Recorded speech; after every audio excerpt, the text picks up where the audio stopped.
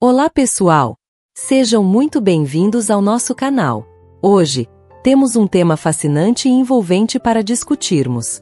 Vamos falar sobre um dos maiores médiums de cura do Brasil, o lendário José Arigó, e a entidade espiritual que ele incorporava, o Dr. Frites. Arigó foi um fenômeno que marcou a espiritualidade e o espiritismo no Brasil e no mundo, com seus impressionantes feitos de cura. José Arigó, cujo nome verdadeiro era José Pedro de Freitas, nasceu em 18 de outubro de 1921 em Congonhas, Minas Gerais. Ele cresceu em uma família humilde e trabalhou como operário em uma mina de ferro. Sua vida parecia comum até que, em sua juventude, começou a ter visões e sonhos perturbadores, que mais tarde se revelaram mensagens espirituais. Essas experiências o levaram a desenvolver suas habilidades mediúnicas e, eventualmente, a se tornar um canal para o espírito do Dr. Fritz, um médico alemão que havia falecido durante a Primeira Guerra Mundial. A fama de Arigó começou quando ele começou a incorporar o espírito do Dr. Fritz e realizar cirurgias espirituais. Essas cirurgias eram realizadas sem anestesia e muitas vezes com ferramentas rudimentares, como facas de cozinha e tesouras. O mais impressionante era que os pacientes raramente sentiam dor e se recuperavam rapidamente. As curas e tratamentos realizados por Arigó atraíram milhares de pessoas de todo o Brasil e do exterior, incluindo figuras famosas e desconhecidas, todos em busca de alívio para seus sofrimentos. Os feitos de José Arigó foram tão extraordinários que ele se tornou um dos médiums de cura mais estudados e respeitados no Brasil. Entre os relatos mais impressionantes estão as cirurgias espirituais realizadas em locais iluminados, a materialização de órgãos e a remoção de tumores.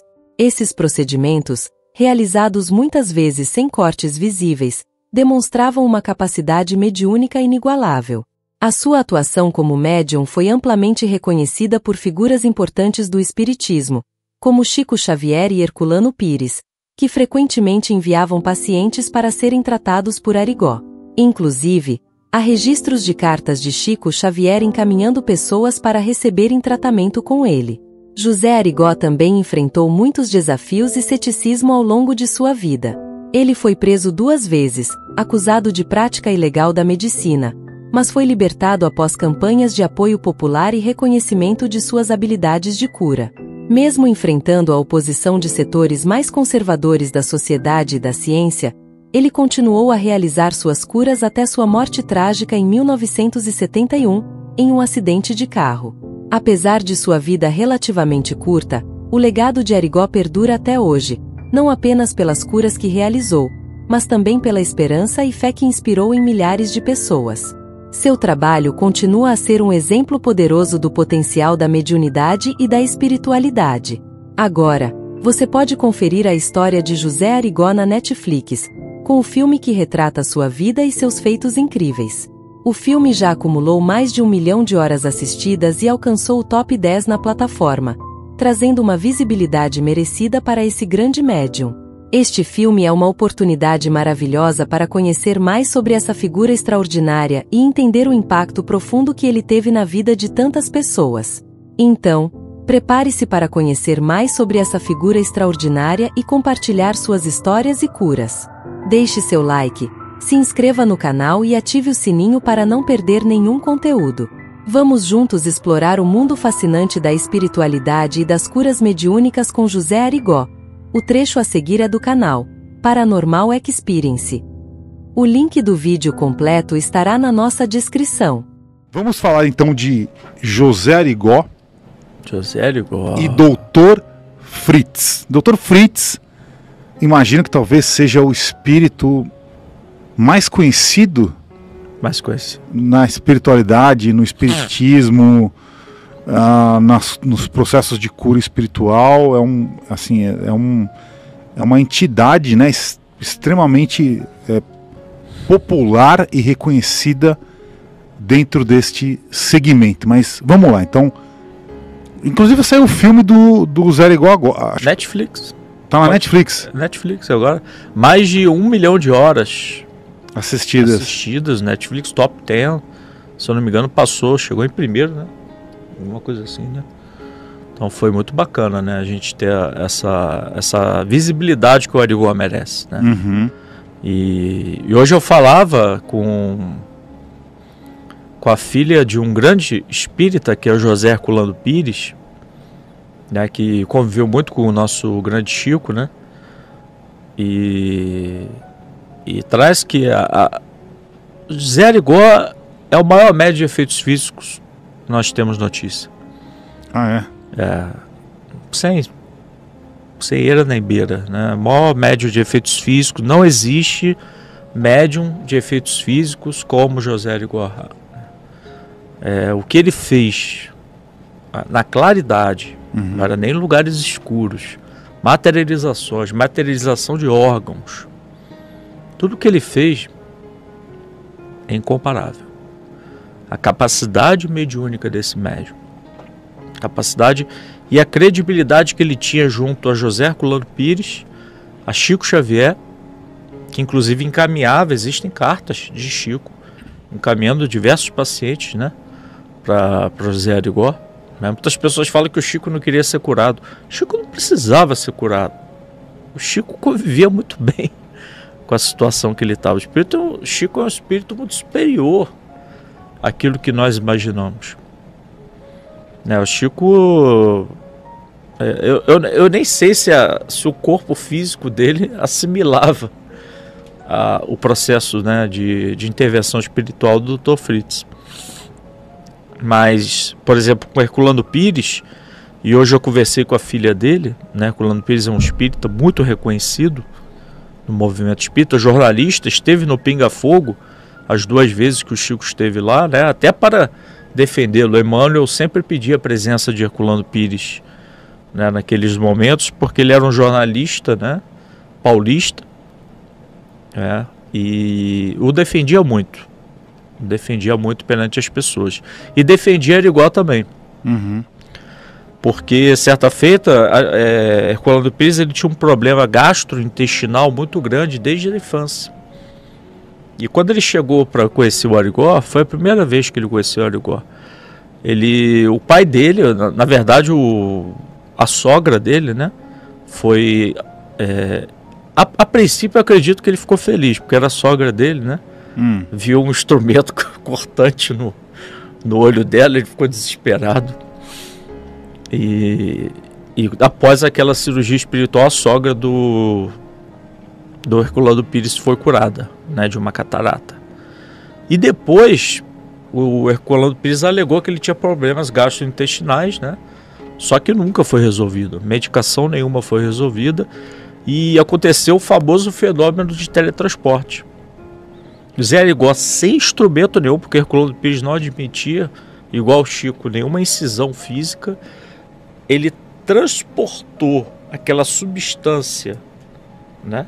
Aquela, aquela carne que estava ali deteriorada, né? Por conta do desgaste, né? Da vida, também das questões gastrointestinais, para o Arigó e Arigó vomitou é, pedaços de carne no jornal, né? Amassou, enrolou e nunca mais Herculano Pires sentiu nada.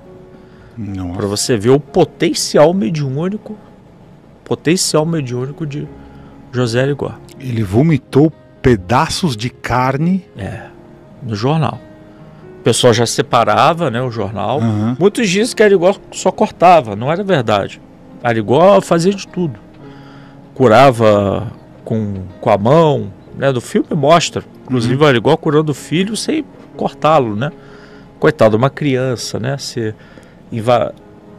Ter um processo invasivo de corte, né? Uhum. Mas eles faziam isso por quê? Por, por que naquela época zero igual cortava? Perguntei ao espírito do Dr. Ludwig, perguntei ao Dr. Fritz. E eles falavam, porque naquela época era para chamar a atenção da ciência. Precisava de algo mais assim, relevante, né? E a gente vivia um boom de espiritismo no país. Uhum. Chico Xavier, Edivaldo Franco, Herculano Pires, José Arigó. Imagina essa galera toda aqui. Imagina eles aqui no Paranormal. Nossa Senhora. Cara, é, é de outro mundo. É, é, o Luiz está ali, né? Conviveu com o Divaldo, né? O que, que, que o Luiz não viu com o Divaldo, né? Que, que, que tipo de espiritismo era aquele, né? Elaborado por Divaldo. Né, pelo Chico e tantos esses outros médios, né? Então Zé Arigó é, traz para gente essa, essa questão saborosa, né? Da, da misericórdia de Deus perante as criaturas, né? Da misericórdia de Deus perante as pessoas e atendia a todos, né? Atendia a qualquer pessoa de forma indistinta. Claro que pessoas mais famosas o procuravam, né? Mas ele atendia a todo mundo, né? Todas as pessoas que conviviam com ele. E é para nós um, um, um, precursor, né? Uma pessoa que, que abriu os caminhos, né? Para que hoje nós possamos ter médios de cura que possam se capacitar. Talvez, como eu, não tenha essa capacidade ostensiva, do, do, do Arigó, né? mas que a gente possa fazer a nossa parte muito bem feita, porque quanto mais lapidados é o instrumento, mais a espiritualidade consegue fazer a intervenção. E se tiver que curar, vai curar. O Arigó, por exemplo, não conseguiu curar o filho. Hum. Um dos filhos ele curou e outro filho ele não curou. Porque estava na programação reencarnatória que aquele filho poderia ser curado. E nessa programação encarnatória, não poderia. Este poderia e este não poderia. Né? Então é, as pessoas confundem muito, né? Por que, que uns podem e outros não? Elas se sentem não merecedoras, não é sobre merecimento. E, e uma coisa ali que é importante falar sobre cirurgia espiritual é sobre o merecimento. Hum. Todos nós ali, todos nós temos merecimento. Uhum. Na verdade, somos aptos. Isso, isso o Dr. Fritz fala com a gente.